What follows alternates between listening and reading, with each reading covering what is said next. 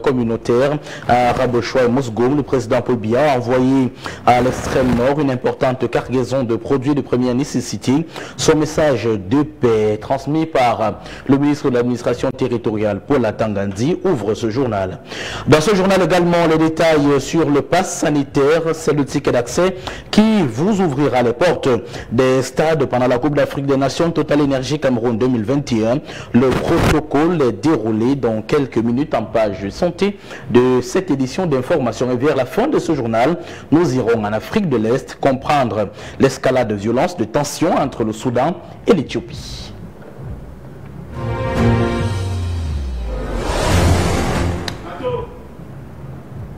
Madame, bonsoir, monsieur, bonsoir. Je suis heureux de vous savoir nombreux à nous regarder ce soir. Une importante délégation ministérielle séjourne en ce moment de la région de l'extrême nord euh, Cameroun, conduite par le ministre de l'administration territoriale. Elle a pour objectif de transmettre le réconfort du président de la République aux populations victimes du conflit intercommunautaire entre les Mousgoum, les Arabes Chois et les Massa. Le ministre Paul Atangandi a également profité de cette occasion pour tenir une réunion de sécurité au cours des laquelle il a transmis le message de paix et de vivre ensemble du chef de l'État. Pierre-Bernard Coigneux nous en dit plus.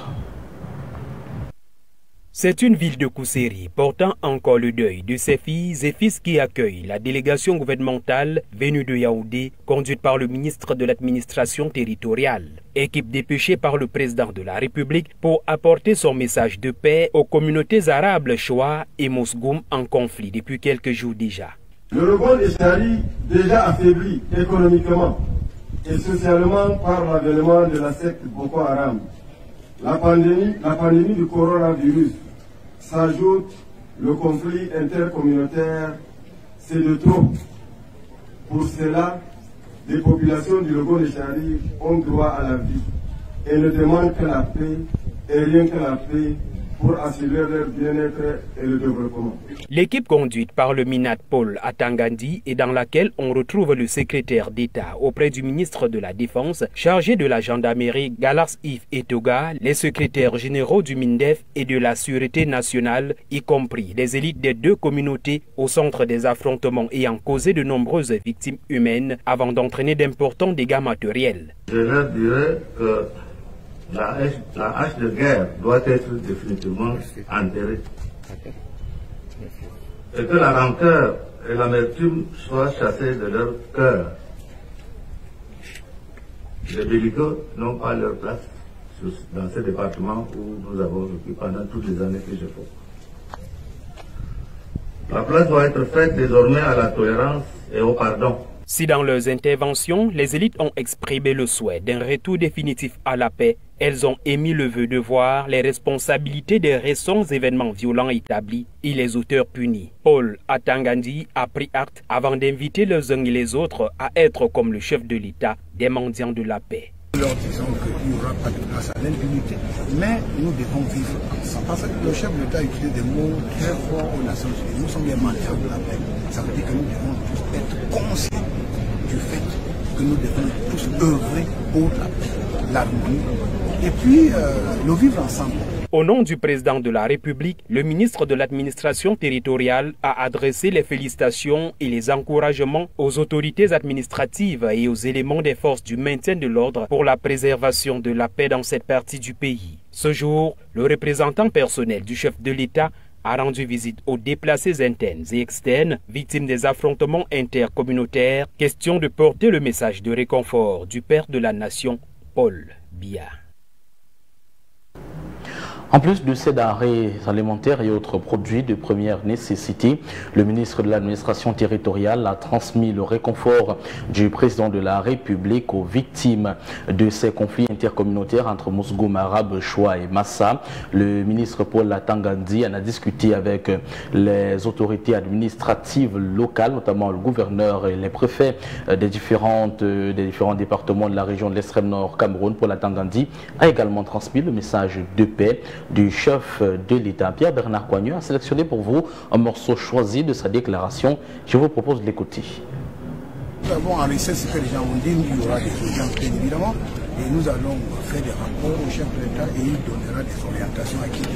Je crois que c'est un problème essentiellement entre les éleveurs, les agriculteurs, mais on peut trouver des solutions. C'est pas ça qui peut donner lieu à des tueries, à des incendies, à des, des scènes de pillage.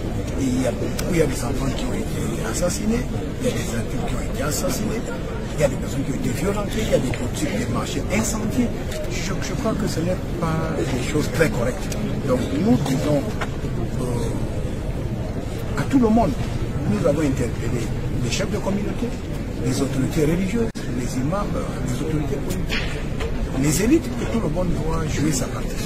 Et si nous sommes tous sincères pour mettre un terme à cette affaire-là, on est on a d'accord, mais que les gens soient sincères. Donc je dis, euh, le vivre ensemble ne doit pas seulement être un mot, c'est un comportement.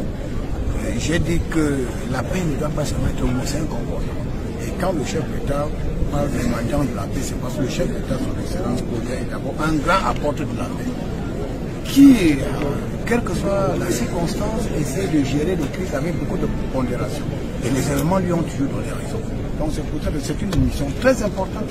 Et je crois que les communautés doivent se sentir heureuses, n'est-ce pas, de cette mission. Et nous avons fait de notre mieux, n'est-ce pas, pour euh, transmettre le message fidèlement.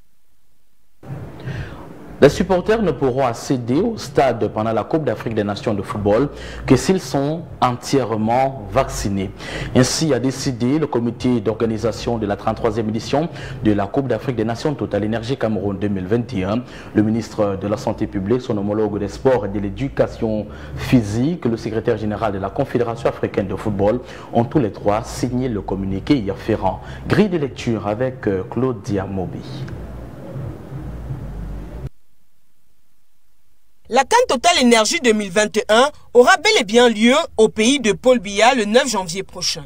Rassemblé ce jour à Yaoundé dans le cadre d'une conférence de presse, le ministre de la Santé publique a rassuré les hommes de médias et invités sur l'absence du nouveau variant Omicron. Pas utile, inutile de rappeler que suivant les résultats des analyses de laboratoire rendues disponibles hier, hier seulement par le laboratoire national de santé publique, le centre Pasteur du Cameroun et toute notre plateforme forme de séquençage, le variant Omicron n'est pas encore présent au Cameroun.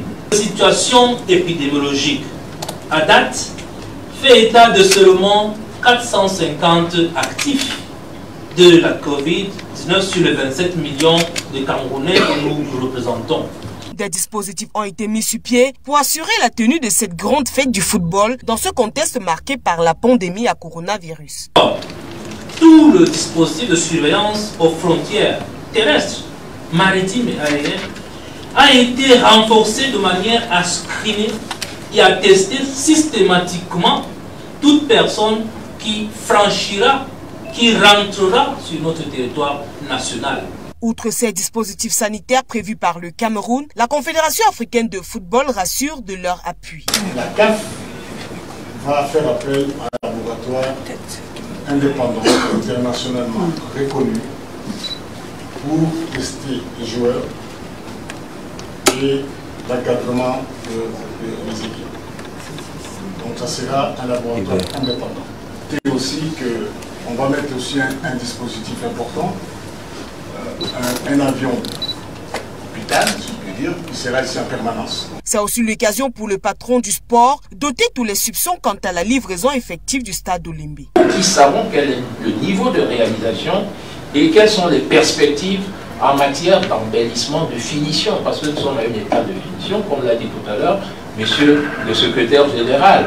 Le mobilier est disponible et il va être transporté au stade de Olimbi avec euh, sa collaboratrice qui est représentant du bureau CAF, il a fallu d'abord faire, et cet exercice a été fait avant-hier, l'inventaire du mobilier pour les, espaces VIP, VVIP. Voici donc écarté toute hypothèse de report ou retrait de la Cannes. Un communiqué a été publié au finish pour informer de la décision conjointe de la Fédération africaine du football et du gouvernement à soutenir la tenue de cette grande fête de football au Cameroun. Sur la question précise des conditions d'accès dans les différents stades de la Coupe d'Afrique des Nations de football qui s'ouvre dans notre pays le 9 janvier prochain, je vous propose de réécouter le ministre de la Santé publique, le docteur Manaouda Malachi, vous dit exactement ce qu'il faut faire et avoir pour avoir un ticket euh, d'accès dans ces différents stades-là. C'est un extrait sélectionné par euh, Claudia Mobé. Notre dispositif qui a été présenté à la CAF qui a d'ailleurs grandement participé à son élaboration de par les contacts quasi quotidiens que nous avons avec euh, les équipes en charge de sa conception, est conçu autour d'un pass sanitaire qui, il faut tout de suite le dire, ne remplacera pas le respect des mesures barrières, que ce soit à l'intérieur ou à l'extérieur des stades. L'accès au stade, aux fan zones, aux hôtels des joueurs et délégations seront donc conditionnés à la preuve d'un pass sanitaire valide. Ce dispositif, qui s'appuie sur plus de 2000 à 2500 personnels qui vont tester, contrôler autant de spectateurs qu'il le faut, se décline comme suit. Au niveau de l'entrée sur le territoire camerounais, il est exigé un test PCR de moins de 72 heures négatif à l'arrivée un test TDR antigénique réalisé sur place à l'entrée pour spectateurs, une vaccination anti-Covid pour les joueurs et officiels. À l'entrée des stades pour les zones 1 et 2, il s'agira, pour y avoir accès, de présenter un test PCR de moins de 48 heures négatif, présenter un test PCR d'une validité de 7 jours en cas de vaccination anti-Covid pour accéder à toutes les autres parties du stade, il faudra présenter un, carnet de vaccination avec un schéma complet ou un carnet de vaccination avec un schéma non complet mais avec un TD antigénique de moins de 24 heures négatif. Présenter un TD antigénique d'une validité de 7 jours en cas de vaccination complète. Pour ce qui est de l'entrée des visiteurs dans les hôtels des joueurs et des officiels, vous devrez présenter un test TDR antigénique de moins de 24 heures négatif en cas d'absence de vaccination anti-Covid ou de schéma non complet et présenter un TDR antigénique d'une validité de 7 jours en cas de vaccination anti-Covid. À l'entrée des fan zones, le spectateur devra présenter un test TDR antigénique de moins de 24 heures négatifs en cas d'absence de vaccination anti-Covid, présenter un TDR antigénique d'une validité de 7 jours en cas de vaccination anti-Covid. Enfin, pour ce qui est de la sortie du territoire, comme vous le savez, chaque voyageur devra, en fonction des exigences du pays d'accueil, présenter un test PCR de moins de 112 heures négatif.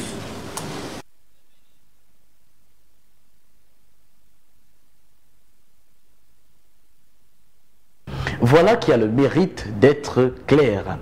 On parle économie à présent dans ce journal. Comment accroître l'intérêt des jeunes Camerounais pour l'agriculture? La question est au centre des réflexions au ministère de l'Agriculture et du Développement rural. Le, panoplie de solutions est proposé depuis ce matin en vue d'amener les Camerounais à atteindre un certain niveau de sécurité alimentaire. Chantal Yaoudam a assisté à la première journée du travail. Voici son compte rendu. Soyez les entrepreneurs agricoles dont le Cameroun a besoin. Une recommandation du chef de l'État à la jeunesse formulée le 10 février 2016 qui montre toute sa pertinence en ces terres de la révolution agropastorale. Et pour inciter cette jeunesse dynamique et forte à choisir le chemin de la terre, le PEA Jeune, programme de promotion de l'entrepreneuriat agropastoral qui tient ce jeudi à Yaoundé sa huitième session du comité de pilotage co-présidé par les ministères de l'Agriculture et celui des pêches et des industries animales. Experts et acteurs posent des réflexions sur les moyens de soutenir davantage le développement d'entreprises rentables en misant sur une approche par incubateur. Jeune est jugé à avec quatre grandes étapes. Euh, l'étape de facilitation à date est réalisée à près de 150%. Euh, euh, l'étape dite d'incubation est réalisée à près de 115%. L'étape de financement est réalisée à hauteur de 70% environ. Et la dernière étape de business coaching, c'est également à hauteur de 70%. Les deux grandes étapes que sont la facilitation et l'incubation sont déjà atteints et dépassés. Un programme qui recrute des jeunes âgés de 18 à 35 ans exerçant dans le domaine agropastoral qui a déjà fait ses preuves en soutenant des efforts multiformes allant dans le sens de la production et de la transformation. Le programme PA Jeune est venu, moi je vous dis que c'est un programme d'agriculture. Moi, je suis un technicien, moi, je fonce. Et je me suis foncé et j'ai bénéficié d'un capital de 1 600 000 que depuis, ça fait depuis, ça fait depuis, 2015 jusqu'à aujourd'hui, je suis toujours en business.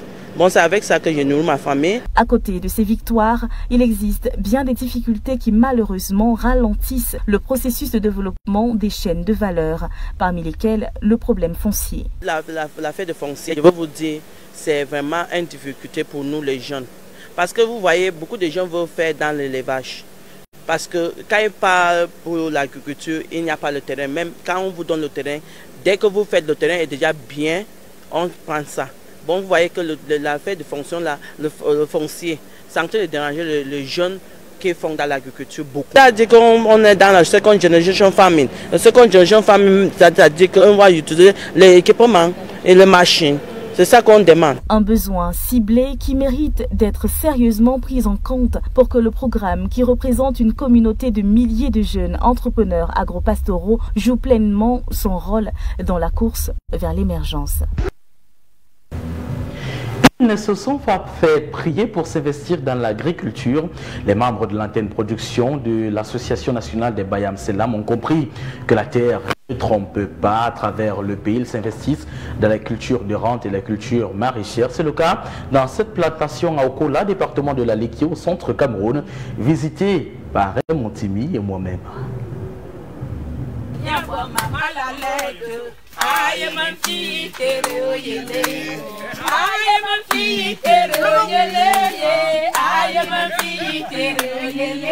C'est la saison des récoltes à Okola dans la Léquier au centre Cameroun.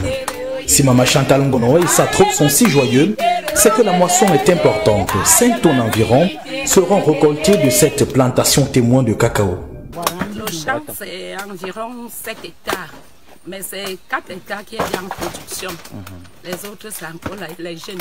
Dès qu'on a commencé le champ, nous avons commencé avec, pour mettre en ligne, que vous allez constater les écarts de 3-3 mètres. Quand nous créons ces plantains cacaoyers, au fur et à mesure que le, le cacao monte et que ça devient adulte, les plantains finissent. Donc nous faisons l'agriculture de la troisième génération en respectant toutes les mesures. Cette agriculture dite de troisième génération, c'est le dernier fleuron de l'association camerounaise des Bayam Selam.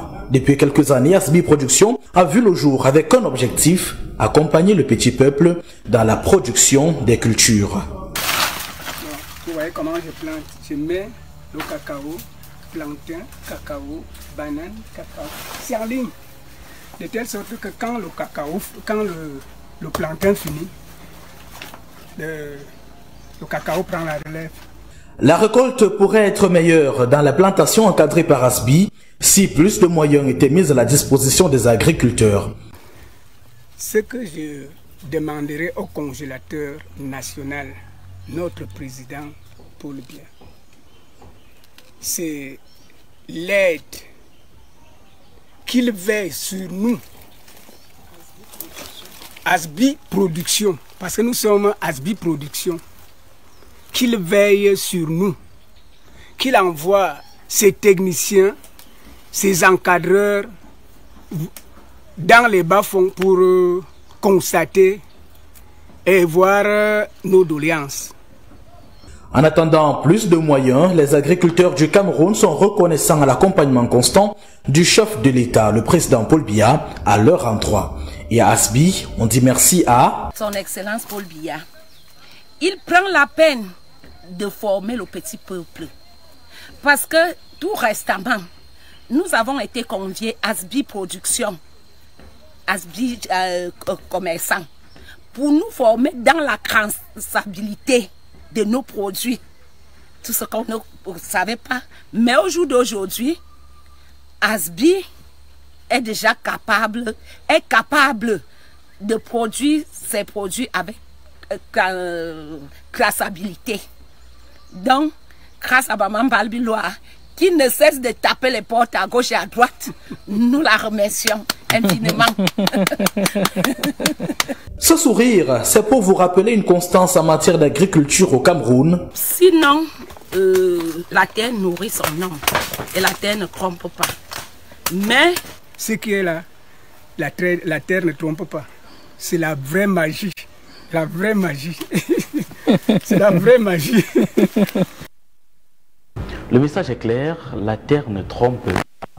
Toujours en rapport avec euh, l'agriculture, les petits producteurs agropastoraux du département du Mongo se sont réunis ces 15 et 16 décembre 2021. Ils ont organisé des journées portes ouvertes au sein des organisations paysannes de ce département de la région du littoral. L'idée, c'est de promouvoir les métiers de la terre. Apollinaire Kameni signe la correspondance. Contribution des organisations paysannes agricoles au développement agricole et rural, c'est le thème qui a été au centre des journées portes ouvertes en faveur des petits producteurs agropastoraux dans le département du Mungo. Une initiative du Codas Caritas du diocèse de Nkonsamba qui vise l'accompagnement de ces acteurs du secteur agropastoral exerçant dans le Mungo et la ville de Sancho. La formation que Caritas met à notre disposition est quelque chose qui n'a pas Pourquoi?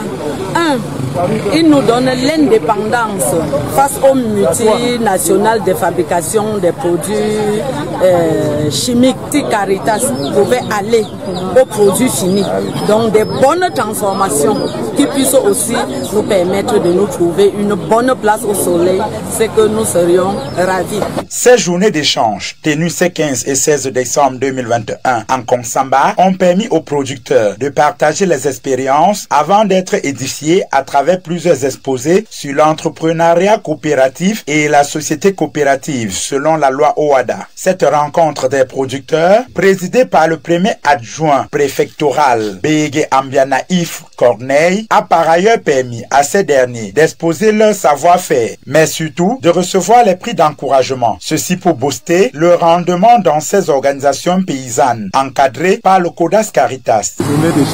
Nous permettre de forcer les capacités de plusieurs personnes puisqu'il y aura euh, des enseignements sur certaines méthodes de culture révolutionnaire en biologie.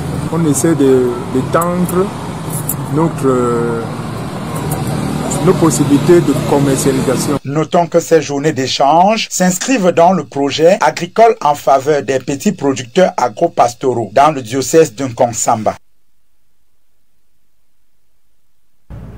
L'augmentation des prix des produits de grande consommation inquiète les Camerounais selon certaines sources. Le prix de la bière devrait également augmenter d'ici l'année 2022. C'est de nature à créer un soulèvement populaire au Cameroun selon Claude Maillot qui signe ce reportage.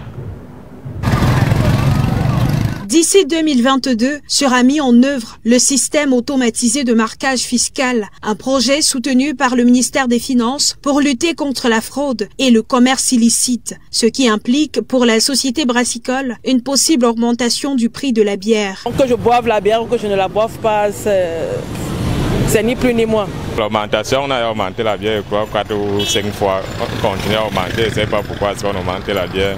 Le mois de sang, quand même, c'est le mois là où les gens, là, les gens boivent la bière, le mois de sang. Donc, si on manque quand même, il n'y a pas de souci quand même.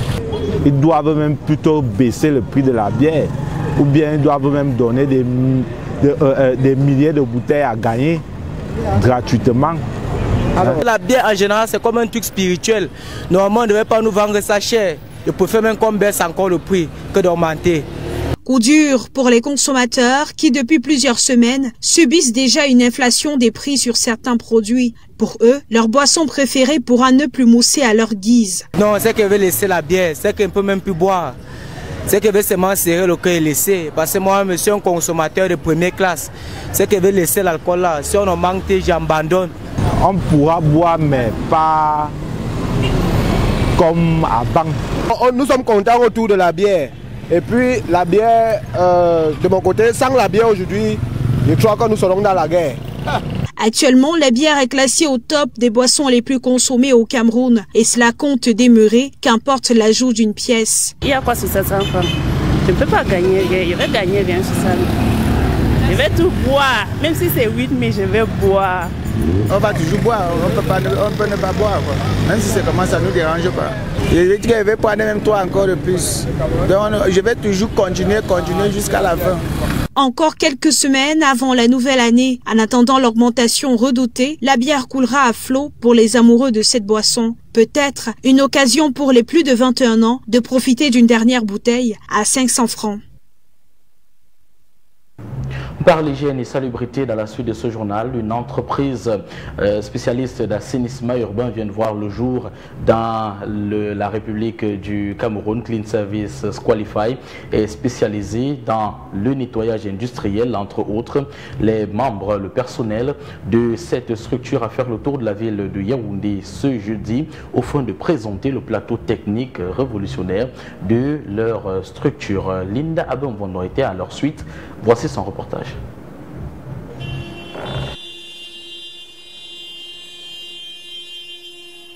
Dans l'optique d'encourager le développement de l'entrepreneuriat au Cameroun, le gouvernement camerounais ouvre une porte aux opérateurs économiques dans les domaines de l'assainissement urbain. À titre illustratif, l'entreprise Clean Service Qualified répond à la commande publique et la commande privée. Par conséquent, compte tenu de cette lourde tâche, nous avons euh, entrepris de recruter dans les brefs délais et c'est de manière officielle. Dans notre site, vous pouvez vérifier, c'est pas moins de 8000 emplois. Clean Service est une réponse euh, euh, qui permettra à tous les visiteurs qui viendront au Cameroun de vivre dans un cadre sain. Dans la, la, la collecte, n'est-ce pas, des ordures, la gestion de tout cela, l'environnement, pendant que nos invités seront au Cameroun. Mais les, les activités de Clean Service ne s'arrêteront pas là.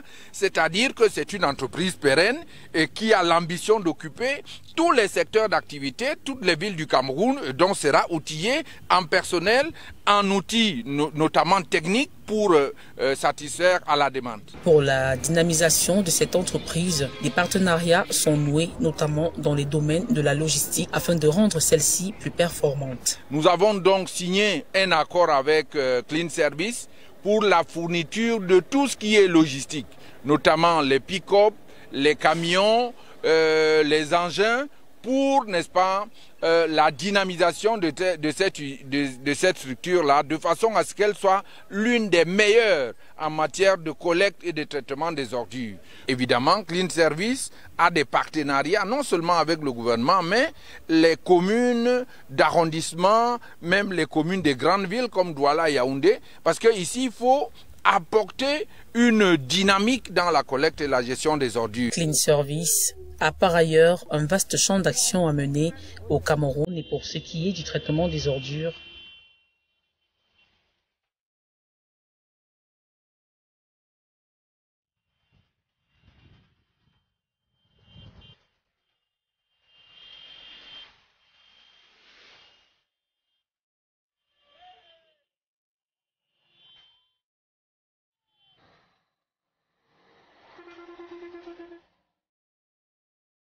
Clean Service Qualified pour un Cameroun sain et libre de toute pollution atmosphérique.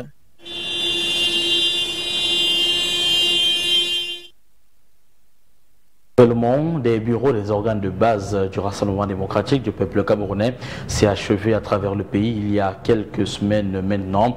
Dans le département du Fundi, l'heure est à l'installation de ces responsables nouvellement désignés. La section, euh, la 16e section Fundi, ici dans la ville de Yaoundé, a bénéficié donc de cette opération ce jeudi. Euh, les responsables de l'OJ, l'OF et le RDPC ont été installés par le représentant du comité central. Il leur a enjoint de respecter les textes en vigueur au sein du parti de la flamme ardente.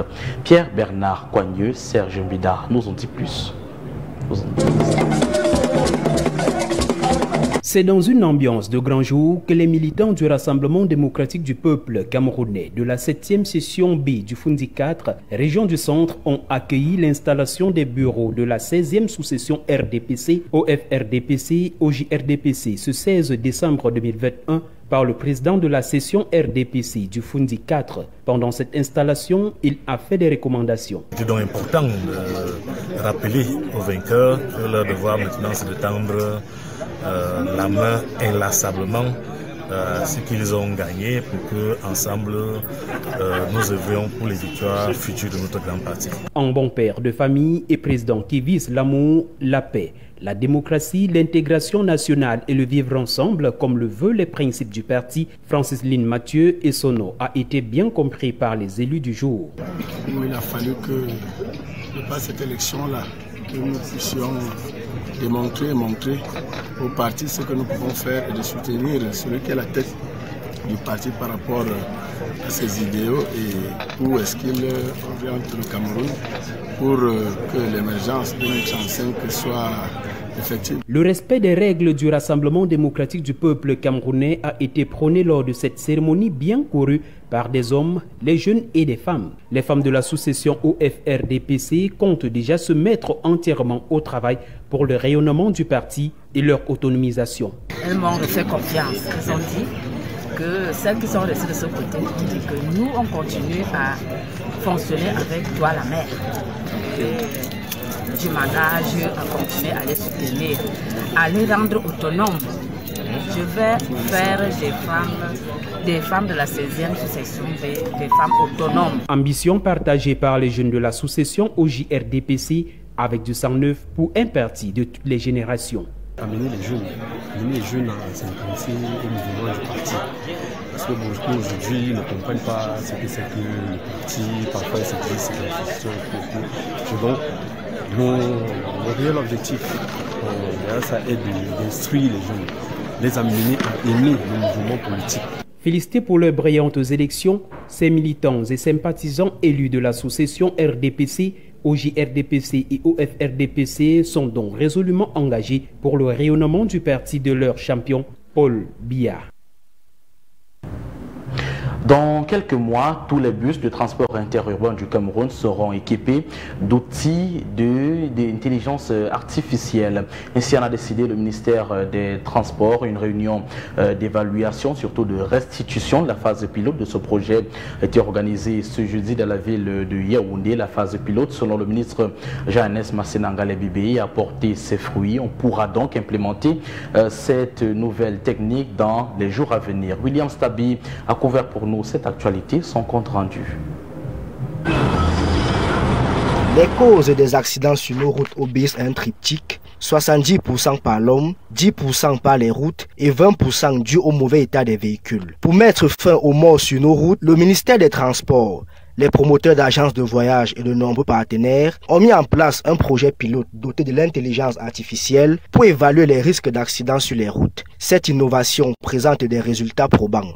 Nous avons 400 véhicules qui ont été installés par ce système pendant plus de deux mois aucune de ces véhicules se trouve dans une situation d'accident, ni un incident.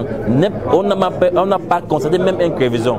Toute chose qui justifie le fait que ce système d'intelligence artificielle de suivi des comportements du de la route, ça, ce système euh, combine les trois facteurs de risque d'accident de circulation, l'homme, 70%, la route qui est 10% et le véhicule 20%. Dans un contexte accidentogène, plus d'un million de cas d'excès de vitesse ont été enregistrés au cours de la phase expérimentale. L'on a noté que pour les bus qui ont participé à l'expérience, les risques d'accident ont baissé de façon considérable. Les transporteurs d'un commun accord saluent l'initiative du gouvernement. Nous sommes partants pour le projet, il est captivant, mais mon souhait c'est qu'on définisse les règles du jeu. Et quand on va définir les règles du jeu, moi je pense que à partir de là, on verra comment on va. Parce que dans un match de football, on définit les règles du jeu avant. Et c'est cette définition des règles du jeu que nous attendons. Certains acteurs, quant à eux, pensent qu'il est nécessaire de trouver des mécanismes qui vont permettre de réguler les coûts en ce qui concerne l'utilisation de cette technologie. Les transporteurs ont voulu savoir, est-ce qu'on ne peut pas les laisser eux-mêmes utiliser les un certain matériel eux-mêmes Parce qu'ici, on n'a pas laissé jouer la concurrence. Il faut le dire. On n'a pas laissé jouer la concurrence. Euh, on, on, a seulement euh, laissé une partie, une partie euh, décider de manière unilatérale. Donc il est important que les transporteurs ont demandé que nous nous réunissions, après que nous nous réunissions, que nous fassions des propositions. Parce que 700 000 francs par an, c'est un peu cher. Ça fait 60 000 francs par mois. L'excès de vitesse La fatigue prolongée des conducteurs, l'utilisation du téléphone sont les causes les plus récurrentes des accidents de la route. Le ministre des Transports a profité pour inviter l'ensemble des acteurs à plus de responsabilités pour atteindre l'objectif zéro mort sur nos routes. Et voilà qui pourrait permettre de rendre nos routes et nos voitures un peu plus sûres. Un mot de sport avant de refermer ce journal. FAP a définitivement arraché son ticket qualificatif pour la Basketball African League. Les forces armées et police l'ont emporté ce soir avec 30 points d'écart sur Slack de Guinée. C'était la quatrième victoire en autant de rencontres pour l'équipe du Cameroun, unique représentant de notre pays à cette compétition continentale. Pour avoir un peu l'atmosphère au Palais Polyvalent des Sports de Yaoundé. Je vous propose d'y retrouver notre reporter Aimé Moukoko. Bonsoir Aimé, dites-nous, c'était qu'est-ce qui s'est passé là-bas? Quelle était la clé du succès de l'équipe des forces armées et police du Cameroun?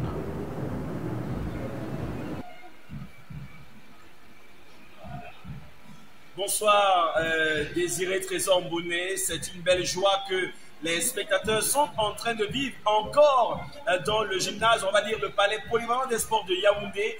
40 points d'écart, on parlait de 30, presque 40 points d'écart ce soir euh, contre le Slack de la Guinée. Une finale pour cette étape importante qui permet de donner, n'est-ce pas, euh, l'attitude hein, des Forces Armées Police Basketball Club à quelques heures simplement de la phase finale de la Basketball African League.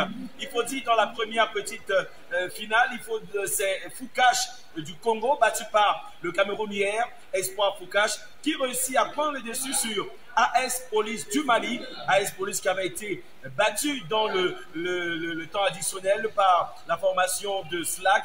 Mais aujourd'hui, c'est une équipe qui sachant déjà qu'elle est qualifiée, n'a réellement pas euh, donné grand-chose d'intéressant à voir. On a l'impression que c'est une balade de santé des forces armées et police dont le coach et les joueurs terminent, vous l'avez dit, un 4 sur 4, 4 matchs, 4 victoires. C'est simplement une belle préparation de cette compétition avec le concours de la NBA associée à la FIBA Afrique.